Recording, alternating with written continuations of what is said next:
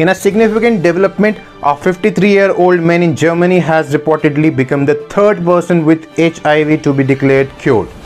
The patient known as the Dusseldorf patient underwent a procedure in which a donor replaced his bone marrow cells with HIV-resistant stem cells.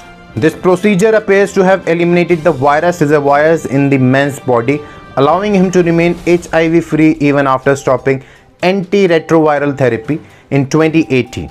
While ART has effectively lowered the virus to undetectable levels, it cannot eliminate the virus reservoirs in the body. According to a study published in Nature, this latest development is a significant step towards finding a true cure for HIV.